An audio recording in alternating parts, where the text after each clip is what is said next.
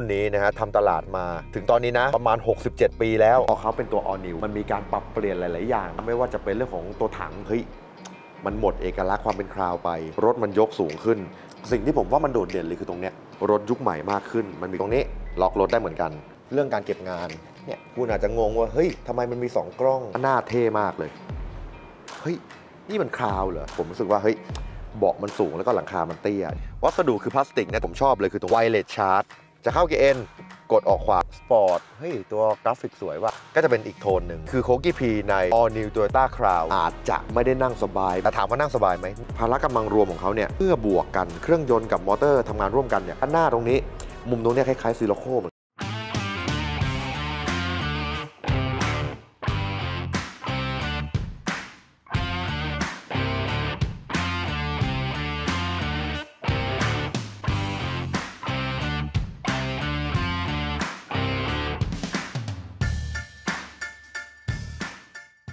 วันนี้ รูปปก ชื่อปก น่าจะรู้กันดีอยู่แล้วนะครับ วันนี้ผมอยู่กับรถยนต์ที่เรียกได้ว่า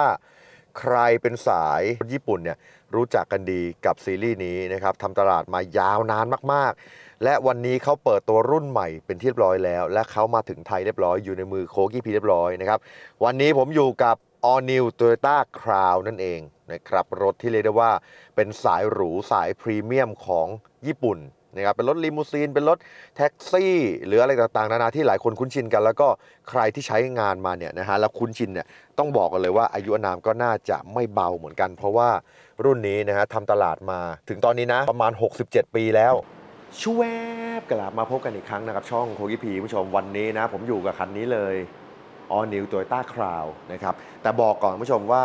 การเปิดตัว Crown ครั้งนี้เจเนอเรชันที่ 16เนี่ยที่เขาทำตลาดมากว่า 67 ปีรุ่นแรกนะของ Toyota Crown เนี่ยกำเนิดขึ้นในปี 1955 นะครับ มาถึงตอนนี้ โอ้โห ผมยังไม่เกิดเลยนะนะครับ67 ปีก็ถือว่าใครที่ชื่นชอบเนี่ยนะฮะ น่าจะ ต้องติดตามแล้วแหละคลิปนี้ เพราะว่าเดี๋ยวผมจะพาชมรอบคันด้วย แล้วต้องบอกก่อนว่า พอเขาเป็นตัว All New มันมีการปรับเปลี่ยนหลาย ๆ อย่างเลยนะฮะไม่ว่าจะเป็นเรื่องของตัวถังที่เขามีตัวเลือกเพิ่มเติมมากขึ้น ก่อนหน้าเนี้ Crown ก็คือรถซีดานคันใหญ่ๆนะที่ช่วงล่างนุ่ม ๆ นะฮะแล้วพอแต่พอมาเป็น gen เนี่ยเนี่ยเขามีตัวถังแบบใหม่รุ่นนี้ที่เราจะรีวิวกันเป็นเขาเรียกว่าเป็นตัวถังแรกที่เขาเริ่มผลิตและจำหน่ายก็คือตัวถัง crossover นั่นเองนะครับก็จะมี crossover มี estate มีซีดานมีเป็นตัวสปอร์ตนะครับก็จะแตกต่างกันจะประมาณ 4 ตัวถัง เดี๋ยวอนาคตถ้ามีตัวถังแบบอื่นเข้ามานะฮะเดี๋ยวผมจะพามารีวิวกันด้วย และวันนี้เราอยู่กับ All New Toyota Crown ตัวถัง crossover รุ่น G นะครับที่ทางอีตันเนี่ยจัดจำหน่ายมา ถ้าเกิดใครอยากมาดูคันจริง มาดูกันได้เลยที่อีตันสีนครินนะครับ ส่วนราคาเนี่ยจะอยู่ประมาณ 3 ล้านต้นๆนะฮะลองมาถามราคากันอีกทีนึงแล้วกันว่าเท่าไหร่นะครับ ก็ลองดูเดี๋ยววันนี้เราจะพาชมนี่คันนี้เลย กันแบบเจาะลึกเลยว่าภายนอกภายในมีอะไรปรับเปลี่ยนบ้าง แล้วก็มีความน่าสนใจอย่างไรบ้าง โดยขุมพลังของเขาเนี่ยจะมีตัวเลือก 2 แบบ แต่บอกก่อนว่าเป็นขุมพลังเดียวกันคือเป็นไฮบริดอย่างเดียว จะเป็นไฮบริดแบบ performance กับไฮบริดที่เป็นแบบซีรีส์นะครับก็ลองดูแล้วกันว่าคุณชื่นชอบแบบไหนนะก่อนชมกันอย่าลืมกดแชร์กดไลค์กด Subscribe ให้ช่องโควิพีด้วยนะครับที่ขาดไม่ได้ Super Classic กาแฟดำร้อยเปอร์เซ็นต์ปลุกความเข้มให้คุณตื่นมาสู้ต่อ และ เพราะฉะนั้นก็อย่ารอช้าเราไปดูรีวิวรอบคันนะครับ All New Toyota Crown Crossover G คันนี้กันเลยครับ พอเห็นโลโก้แบบนี้ผู้ชม ทุกคนรู้จักกันดีอยู่แล้ว แต่แค่เขามีการปรับเปลี่ยนตัวโลโก้ให้มันดูล้ำสมัยมากขึ้นเพราะแต่ก่อนมันก็จะเป็นรูปมงกุฎเป็นรูปแบบตาโลโก้นะฮะเป็นแบชเป็นอะไรแบบนี้แต่ครั้งเนี่ยพอเป็นคราวรุ่นใหม่ รู้สึกว่าโลโก้ก็มีความเป็นวัยรุ่นมากขึ้น มีความร่วมสมัยมากขึ้นนะครับหน้าตาแบบนี้ผมบอกเลยว่าผมพูดไม่ผิด เขาคือ Toyota Crown จริงๆนะครับอย่างที่บอกไปผู้ชมว่าหลังจากที่เขาเปิดตัวในโลกออนไลน์ที่ญี่ปุ่นนะครับที่เขาประกาศเปิดขายในรูปแบบแบบจัดเต็มเลยเนี่ยนะครับใครที่เป็นสาวกคราวหรือเป็นแฟนคลับคราวเนี่ยบางคนก็บอกว่าเฮ้ยมันหมดเอกลักษณ์ความเป็นคราวไป จากที่แบบดูหรูหรูๆแกนแกรนๆใช่ไหมกลายเป็นสปอร์ตการเป็นวัยรุ่นขึ้นมานะครับก็เขาเรียกว่าแฟนคลับแบ่งออกเป็นสองส่วนเลย ชอบกับไม่ชอบนะครับแต่วันนี้เราจะพามาชมคันจริงกัน นะครับความเป็นตัวถังแบบ crossover แบบเนี้ยในมุมมองของกิพีนะผมว่ามันแปลกตาขึ้น มันเป็นคราวที่ วัยรุ่นใช้ก็ไม่เขินนะเพราะพูดตรงๆรุ่นก่อนหน้าเนี่ยบางทีวัยรุ่นนะครับรับรถมาจากพ่ออย่างเงี้ยถ้าเกิดคุณไม่ได้แบบว่ามีความภาคภูมิใจหรือคุณแบบอยากได้สายหรูอยากเป็นผู้ใหญ่เงี้ยบางคนแบบไม่ชอบเลยนะ เพราะตัวถังมันใหญ่มันมีความเหลี่ยมนะฮะแล้วก็ภายในนี่ก็จะเป็นแบบกว้างๆคุณผู้ชมเดี๋ยวผมจะพูดถึงเรื่องมิติตัวถังก่อนละกันอย่างที่บอกไปคุณผู้ชมว่าเขาจะมีทั้งหมด 4 ตัวถังนะครับตัวถัง crossover type นะฮะ sport type sedan type แล้วก็ estate ซึ่งแต่ละตัวถังเนี่ยก็จะมีความแตกต่างกันไป โดยรุ่นแรกที่เขา นำมาผลิตแล้วก็จัดจำหน่ายเนี่ยจะเป็นตัวถัง crossover แบบนี้ แน่นอนผู้ชม ทั่วโลกตอนนี้ก็จะมีรีวิวที่เป็นตัวถังแบบนี้เนาะ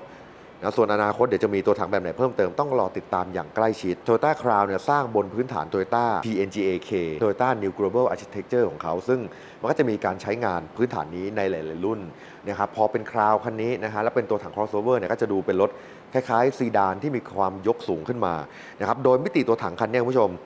ความยาวอยู่ที่ 4,930มิลลิเมตรความกว้าง 1,840มิลลิเมตรความสูง 1,540มิลลิเมตรแล้วก็ระยะฐานล้อเนี่ย 2,850มิลลิเมตรนะครับในส่วนของ ground clearance เนี่ยหลายคนอาจจะอยากทราบ เพราะว่าพอเขาเป็นตัวถัง crossover แบบนี้ เขาจะสูงกว่าซีดานอยู่แล้ว คุณสังเกตไหม จุดต่ำสุดจากตัวรถเนี่ยกับพื้นถนนเนี่ยโดยเฉพาะประตูด้านข้างเนี่ยชัดเจนเลยว่ารถมันยกสูงขึ้น ผมบอกเลยนะว่ารถประเภทเนี่ยใช้งานในบ้านเราเนี่ยสบายใจเลย เพราะว่า อย่างที่รู้กันดีนะครับเรื่องของการทำถนนเรื่องต่างๆนานาเนี่ยตอนเนี้ยก็ยังไม่เสร็จกันดีนะครับถ้าเป็นรถเตี้ยๆบางทีขับและสงสารรถอันเนี้ยก็จะสูงขึ้นมานิดนึงแต่ไม่ได้สูงเท่า SUV หรือ crossover อะไรขนาดนั้นเช่นคันเนี้ยไม่ได้สูงเท่า Land Cruiser ไม่ได้สูงเท่าอะไรขนาดนั้น แต่ก็เป็นรถซีดานที่สามารถขับได้สบายใจมากขึ้น คันนี้คุณผู้ชมเมื่อเทียบกันกับ Crown Gen 15 หรือ Gen ก่อนหน้าเนี่ยนะครับ Gen 16 คันนี้นะฮะมิติตัวถังเนี่ยจะมีความยาวขึ้นประมาณ 20 มิล กว้างขึ้น 40 มิลนะฮะแล้วก็ความสูงเนี่ยสูงขึ้น 75 มิลแต่ระยะฐานล้อหรือ wheelbase เนี่ยสั้นลง 70 มิลแน่นอนแหละ ที่ผมบอกไปว่าความ grand ความเป็นรถแบบลิมูซีนเนี่ยมันหายไปนะครับระหว่างดุมล้อหน้าดุมล้อหลังเนี่ยสั้นลง 70 มิล เพราะฉะนั้นเรื่องห้องโดยสารอาจจะไม่โปร่ง อาจจะไม่ได้สบายเท่าเดี๋ยวเราผมไปลองนั่งให้ดูว่าเบาะแถว2เนี่ยนั่งแล้วเป็นยังไงด้านหน้าผู้ชมตั้งแต่ฝากระโปรงเนี่ยก็จะมีเหลี่ยมสันตามสไตล์โตโยต้านะคือหลาย ๆ จุด นะครับภายในต่างๆ ก็ยังมีความเป็นโตโยต้าอยู่เดี๋ยวผมบอกกันนะครับว่าเป็นไงเส้นบาร์ตรงนี้ยังมีมาให้เหมือนเดิมนะครับฝากระโปรงมีเส้นตีลงมาจนถึงกันชนหน้าตรงนี้เลย แล้วก็โลโก้ Crown เนี่ยสำหรับ Gen 16 นี้จะเป็นโลโก้ลวดลายแบบเนี้ยจะดูเขาเรียกว่า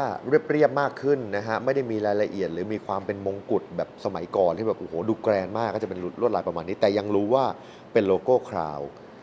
นะครับในส่วนของชุดโคมไฟหน้าอันนี้เปิดปิดนะครับปรับสูงต่ำ auto เป็นโปรเจคเตอร์แสงสีขาวเนอะแล้วก็ไฟ Daytime Running Light อันนี้ผมรู้สึกว่าในสมัยนิยมเนี่ยตอนเนี้ยโอ้โหฮิตกันมาก Daytime Running Light จะอยู่ตั้งแต่ตรงนี้นะครับลากยาวไปเลย จะหลดตรงนี้เลยนะ ลากเชื่อมต่อกันเลยเดี๋ยวผมเปิดให้ดูนะครับแล้วก็ภายในโคมเนี่ยก็จะไม่ใหญ่มาก แล้วก็เรื่องของ detail ก็จะเป็นการตกแต่งด้วยสี gloss black เป็นหลักเนี่ยตรงเนี้ย gloss black ทั้งหมดคุณดูนี่ข้างๆก็เขียนว่า Toyota Crown นี่เป็นไง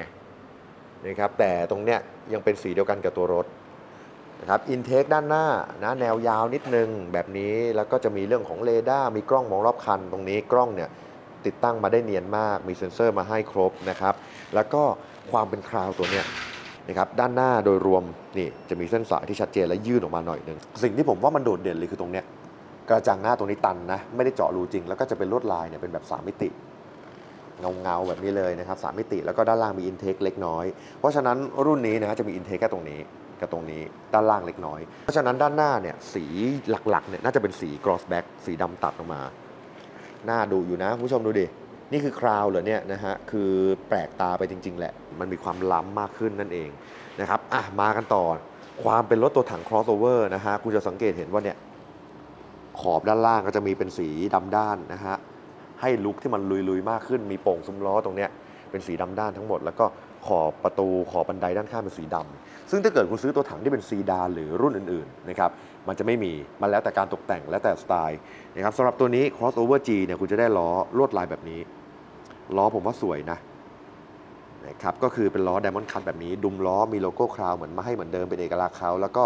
ตรงเนี้ยเป็นก้าน ปัดเงาเป็นก้านสีดำนะฮะ แล้วก็สเปคยางเขา 22555R19 ดิสเบรกสีล้อมมีมาให้อยู่แล้วนะครับแบบนี้เลย ใช้ได้ใช้ได้นะฮะล้อใช้ได้เลย แล้วก็การเก็บงานเนี่ยคราวเนี่ยไม่ทำเสียชื่ออยู่แล้วนะครับ มีการคลุม ซึ่งวัสดุที่ใช้คลุมเนี่ยก็ไม่ใช่เป็นพลาสติกสีดำนะครับ เป็นแบบแข็งๆด้วยนะ เป็นแบบซับเสียงแบบนี้ เพราะฉะนั้นเวลาขับน่าจะเงียบน่าดูนะครับ โป่งซุ้มล้อด้านหน้าแบบนี้ นี่มีการเก็บงานเห็นปะ เป็นเรื่องของชายประตูด้านล่างก็เป็นสีดำด้านนะฮะอ่าขึ้นมากันต่อ ในส่วนของกระจกบังลมด้านหน้านะฮะจะมีกล้อง wide angle camera เพราะคันนี้ก็จะมีเรื่องของ Toyota Safety Sense ครบ Adaptive Cruise Control นะฮะ Lane Keeping Blind Spot กล้องมองรอบคันมีมา มี Head Up Display ยิงกราฟิกขึ้นมาชนกระจก ให้เราเห็นว่าตอนนี้วิ่งเท่าไหร่ shark fin ตรงนี้นะครับก็ยังมีความเป็นเอกลักษณ์โตโยต้าเวลาวิ่งเร็วๆเนี่ยนะฮะเรื่องของเสียงรบกวนที่จะผ่านตรงหูกระจกมองข้างตรงเนี้ยเขาก็จะลดลงไปเพราะว่าก้อนของลมเนี่ยมันจะแยกออกมันเจอครีบตรงนี้ ฝาครอบกระจกมองข้าง สีเดียวกันกับตัวรถ แล้วก็ด้านล่างก็จะเป็นสีดำพร้อมไฟเลี้ยว แล้วก็มีกล้องของรอบคันมาให้ ความเป็นเอกลักษณ์ของตัว crossover type เนี่ยด้านข้างหัวตู ตรงนี้ก็จะมีแถบสีดำนะบ่งบอกเฮ้ยมันคือรถที่มีความ หรุยขึ้นมาหน่อยหนึงนะเนี่ยตรงเนี้ยเป็นชิ้นแปะเข้าไปเป็น gross back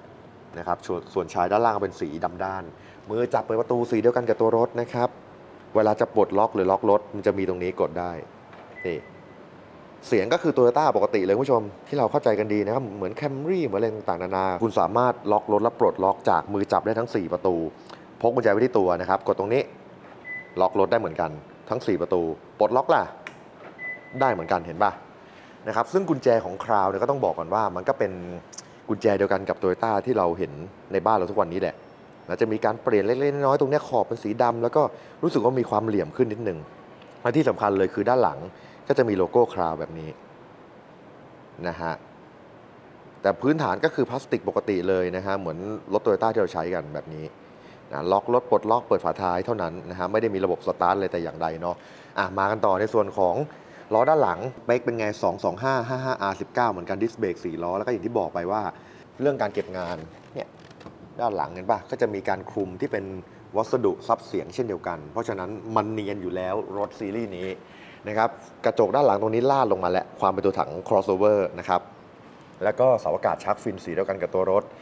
ตรงกระจกตรงเนี้ยจะใหญ่นิดนึงนะอย่างที่บอกไปว่าพอเขาลาดเอียงเนี่ยมันจะต้องใหญ่ และก็รุ่นนี้ไม่ได้มีใบปัดน้ำฝนหลังนะ เพราะว่าเวลาขับไปเนี่ยตัวถังที่เป็นแบบสไตล์แบบ fastback อย่างเงี้ยมันจะลาดเอียงนะครับมันไม่ได้ถึงขั้นแบบแฮชแบ็กหรือว่า SUV ที่จะต้องมีตัวใบปัดน้ำฝนนะครับกระจกหลังไล่ฟ้า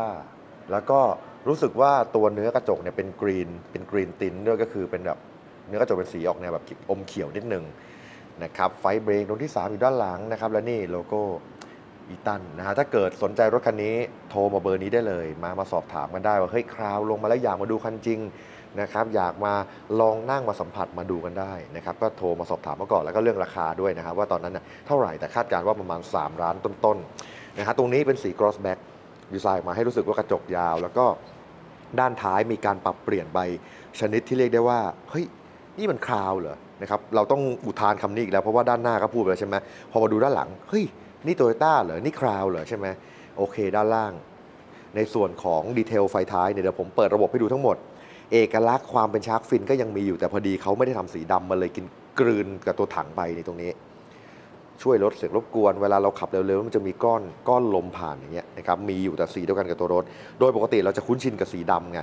นะครับไฟด้านท้ายตรงนี้เป็น LED light guiding นะฮะแล้วก็เป็น 3 มิติตรงเนี้ย ปามันเป็นแบบเป็นระดับแบบนี้เลย แล้วก็โลโก้โตโยต้านะครับแล้วก็ด้านหลังเนี่ยคุณอาจจะงงว่าเฮ้ยทำไมมันมี 2 กล้องนะครับจริง ๆ ต้องบอกก่อนว่ารถคันนี้กระจกมองหลังเนี่ยมันมีตัวกล้องด้วย เพราะฉะนั้นคุณสามารถดูที่กระจกเองได้ หรือเปิดเป็นกล้องได้ก็เนี่ยยิงขึ้นไป กับอันนี้คือกล้องถอยหลังกล้อง3 6 0องศาปกติ และก็ไฟเนี่ยมันจะลากยาวต่อกันทั้งหมดเลย พอมาดูภาพรวมแล้วเนี่ยด้านหน้าผมว่าสวยกว่าไฮบริด นี่โลโก้ไฮบริดยังมีอยู่นะครับเซ็นเซอร์ด้านหลังมีมาให้นะฮะไฟถอยหลัง 2ตำแหน่งนะตรงนี้ 1ตำแหน่งตรงนี้1ตำแหน่งติดพร้อมกัน จุดติดตั้งแผ่นป้ายทะเบียนนะฮะด้านล่างตรงนี้จะเป็นตัวพลาสติกสีดำด้าน แล้วปลายท่อออกไหน รุ่นนี้ปลายท่อออกคู่ด้วยคุณดูไฮบริดปลายท่อออกคู่ นี่คือบริเวณฝาครอบจมูกข้างนะครับเป็น LED แบบนี้ตามสไตล์อยู่แล้ว แล้วไฟหน้าล่ะนี่นะครับไฟหน้าเป็นโปรเจคเตอร์เปิดปิดออโต้นะครับส่วนด้านบนเป็นไฟ daytime running light เห็นป่ะมันลากเชื่อมต่อกัน แล้วก็นี่คือไฟเลี้ยว LED เต็มระบบนะครับเนี่ยดูมุมเนี่ยผมว่าหน้าเท่มากเลย แล้วก็ daylight เนี่ยคุณผู้ชมดูนะ สมัยเนี่ยเดี๋ยวนี้รถที่เขามี daylight ที่เชื่อมต่อแบบเนี้ยเยอะมากนะครับไม่แน่ใจว่าอาจจะเป็นเทรนหรือเปล่าคือ ระหว่างไฟหน้าจะมีไฟตรงกลางที่เป็น daytime running light ต่อกันแบบเนี้ยเยอะมากๆ เนี่ยประมาณนี้นี่คือด้านหน้าโดยรวมนะครับนี่คือ Toyota Crown Gen ที่ 16 นะครับ ตัวถัง crossover รุ่น G นั่นเอง ทีนี้เราไปดูไฟท้ายกันต่อ ไฟท้ายก็เด่นนะครับ ความเป็น LED light guiding ที่มันต่อกันยาวๆ แบบนี้คุณดูนะ นี่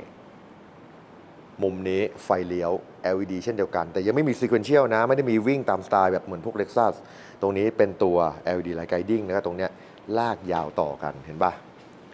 ทั้งหน้าและท้ายนะครับจะเป็นไฟที่มันลากเชื่อมต่อกันทั้งหมดเลย เรื่องของแดชบอร์ดเนี่ยมันมีกลิ่นอายความเป็นคราว แล้วก็มีกลิ่นอายความเป็นโตโยต้านะครับหลาย ๆ จุดผสมผสานกันนะครับมีความเล็กซัสเข้ามาด้วยนะครับแต่นี่เขาคือคราวนะครับเปิดประตูออกมาองศาคุณจะสามารถขึ้นลงได้ประมาณนี้ มุมแรกเลยคุณผมรู้สึกว่าเฮ้ย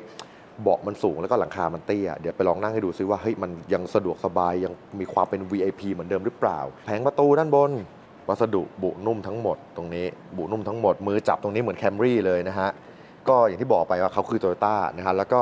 เรื่องของคอนโซลตรงเนี้ยก็คือโตโยต้า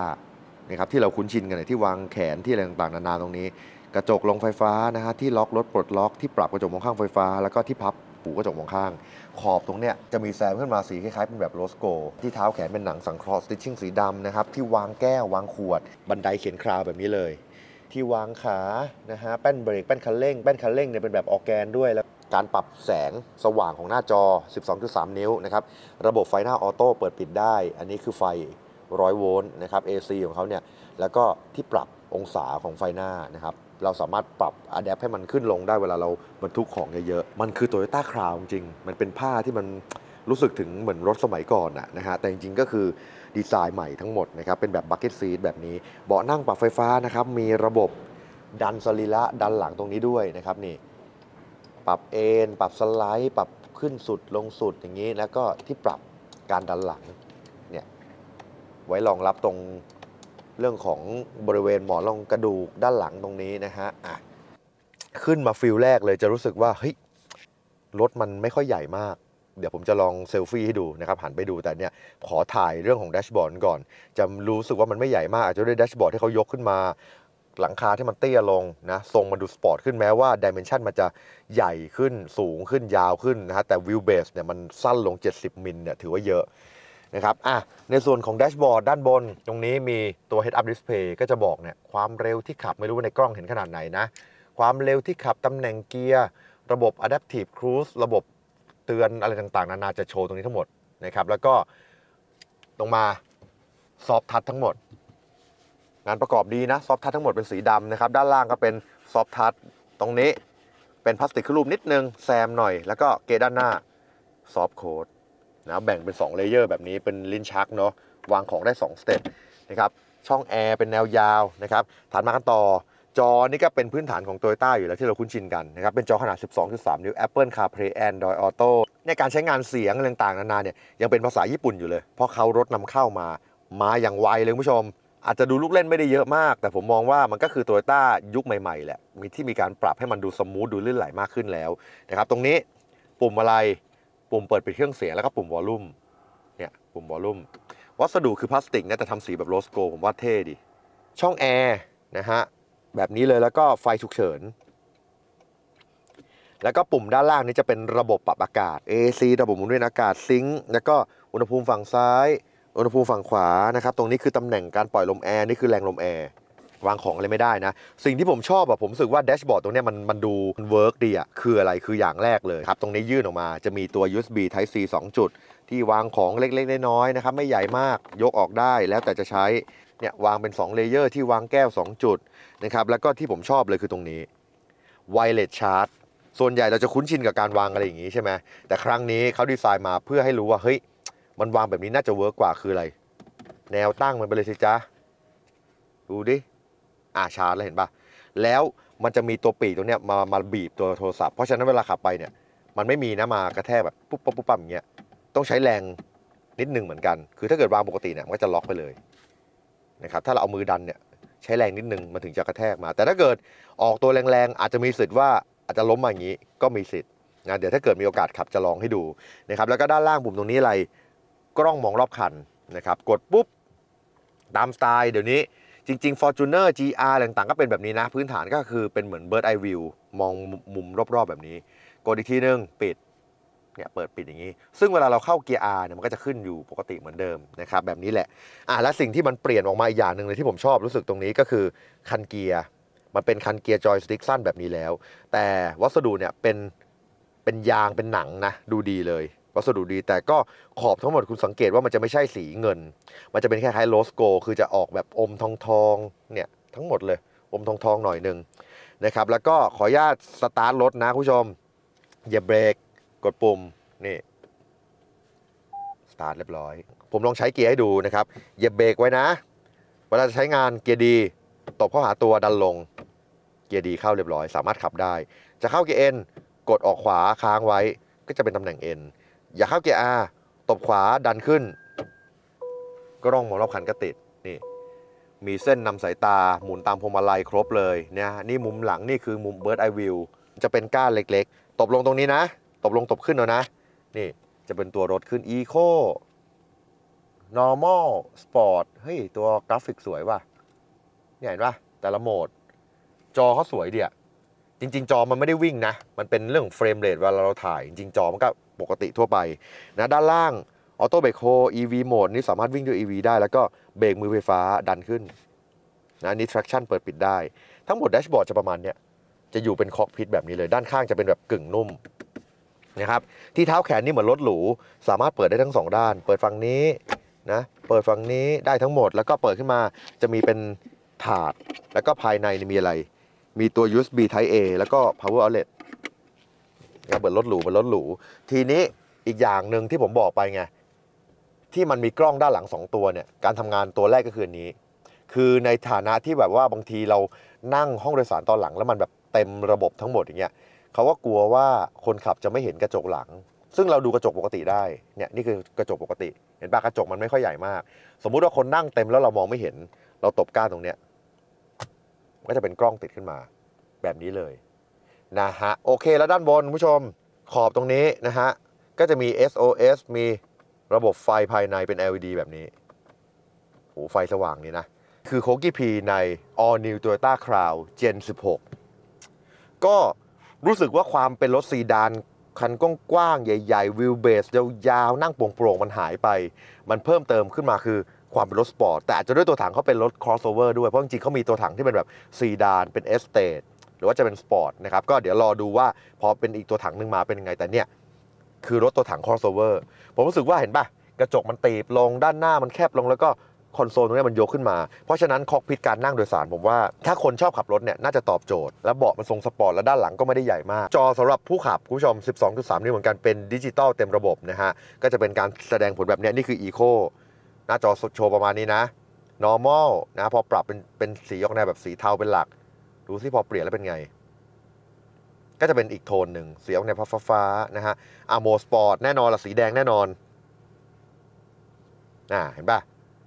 พื้นฐานก็จะเป็นสีแดงขอบก็จะเป็นแบบนี้ ก็จะเป็นเหมือนที่เราใช้โตโยต้าเลยมีมาตรวัดเขียนชาร์จเขียน Eco เขียน Powerฝั่งขวาก็จะเป็นเรื่องของความเร็ว จอกลางนะครับ ก็จะเป็นความเร็วมีโหมด มีตำแหน่งเกียร์ มีระบบต่างๆ โชว์ อุณหภูมิภายนอกแล้วก็เวลานะครับอะ ก้านใบปัดน้ำฝนฝั่งซ้ายเหมือนเดิมมีออโต้มาให้นะครับกดได้ฝั่งขวาล่ะ ระบบไฟนะครับไฟเลี้ยวแล้วก็ไฟหน้าออโต้เปิดปิดได้ ส่วนพวงมาลัยล่ะคุณผู้ชม เดี๋ยวผมถอยให้ดูพวงมาลัยของ Toyota Crown นะครับดีไซน์เขาจะประมาณนี้เลยผมถอยบอกก่อน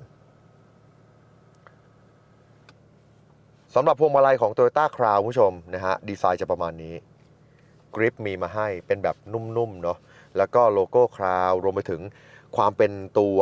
มัลติฟัง c t ชันฝั่งซ้ายเนี่ยปรับจอฝั่งตรงนี้เครื่องเสียงเพิ่มเพิ่มเสียงลดเสียงนะครับวางสายรับสายฝั่งนี้ ฝั่งขวา Adaptive Cruise Control Adaptive Cruise Control เปิดปิดได้lane keeping ออกนอกเลนแจ้งเตือนดึงกลับอะไรต่างเซตตรงนี้ทั้งหมดนะครับแล้วก็ด้านล่างตรงนี้เป็นพลาสติกสีดำนะครับไม่ได้เป็นโครเมียมไม่ได้เป็นอะไรนะลักษณะพวงมาลัยประมาณนี้ Drive Sport มีครบนะครับขอบด้านบนนี้ก็จะเป็นสี gloss black คล้ายๆ Lexus ป่ะคือจอมันต่อกันแบบนี้ เหมือน Mirai เหมือนอะไรเงี้ยที่เราเพิ่งไปลองขับกันมานะครับทีนี้เดี๋ยวเราไปลองนั่งเบาะโดยสารตอนหลังก็ดูซิว่าเป็นยังไงประเด็นคือหลายคนอยากทราบว่าตัวถังนี้นั่งเป็นไง ลงจากรถ อย่างที่บอกไปว่าพอมันเป็นตัวถังนี้แล้วผมรู้สึกว่าอาจจะไม่ได้นั่งสบายเหมือนรถ VIP สมัยก่อน เหมือนลีมูซีนสมัยก่อน แต่ผมมองว่ามันเป็น Crown ที่ดีไซน์มาเพื่อเน้นขับมากกว่านั่ง ถ้าเกิดคุณอยากได้นั่งคุณอาจจะต้องรอตัวถังที่เป็นตัว Estate หรือซีดานนะครับกระจกด้านหลัง green tint เหมือนเดิม แล้วก็ด้านหลังตรงนี้จะเป็นวัสดุ soft touch soft touch ทั้งหมดนะอันนี้หนังสังเคราะห์ที่วางมือตรงนี้ก็เหมือน Camry นะครับกระจกลงสุดไหมลงสุดเอ้ยไม่สุด เหลือประมาณเปอร์เซ็นต์หนึ่งตรงนี้นะเพราะฉะนั้นลงประมาณ 99%เหลือติ่งนิดนึงนะเกือบสุดแล้วก็บันไดด้านล่างตรงนี้ก็จะเป็นสีดำเบาะด้านหลังผู้ชมนะฮะเป็น bucket seat เหมือนกันแล้วก็ นี่จะเป็นวัสดุที่เป็นผ้านะครับซึ่งเป็นผ้าที่มันเป็นเอกลักษณ์ของ Crown เนาะดีไซน์ดีนะ แล้วก็เบาะตรงเนี้ยจะรู้สึกว่าเฮ้ยมันยกสูงขึ้นมา พื้นก็ยกสูงเช่นเดียวกัน รวมไปถึงพรมที่คุณจะได้เวลาซื้อรถ ก็ถามว่ามันแย่ไหมผมว่าไม่แย่นะ มันก็เป็นรถที่ยังนั่งสบายอยู่แต่ถามว่า ความโปร่ง ความกว้างมันอาจจะแบบไม่ได้เหมือนพวกคราวตัวสมัยก่อนตัวเก่าอะไรประมาณนั้น ช่องแอร์ USB Type C 2 จุดนะครับ รวมไปถึงเบาะตรงนี้ ดึงลงมา มีที่วางแก้ว ด้านหลังสามารถเปิด หยิบของได้เหมือนเดิม นี่คือมุมมอง cockpit นะครับใน Toyota Crown Generation ที่ 16 นะ รุ่นใหม่ล่าสุดเลยคุณรู้สึกว่าพื้นตรงเนี้ยมันยกสูงขึ้นมา แล้วก็เบาะตรงเนี้ยสั้นไปนิดนึง แต่ถามว่านั่งสบายไหมนั่งสบาย แต่เอกลักษณ์ความเป็น Crown ความรู้สึกว่ามันเป็นลิมูซีน คันกว้างๆ wheelbase ยาวๆ มันหายไปจริงแหละ เพราะหลังคามันก็ slope ลงต่างๆ แต่อย่าลืมว่านี่คือตัวถัง crossover